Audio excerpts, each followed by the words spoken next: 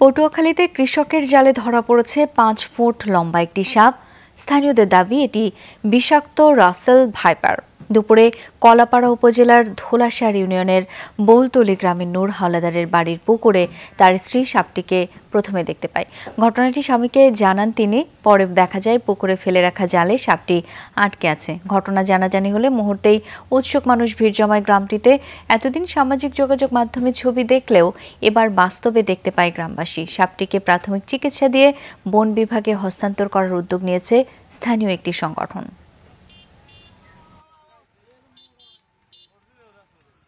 বেড়া দিয়ে রাখছে এমনি পিছনে গেটের পাশে।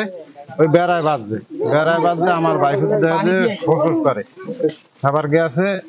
দেয় এই হাত যে পূর্ব বলতলি একটা রাসেল পড়ছে, ওই সঙ্গে দেখার জন্য আসলেই দেখতেছি যে সত্যি পড়ছে, আর এটা মানে এলাকার জন্য একটা আতঙ্ক সৃষ্টি হয়ে গেছে।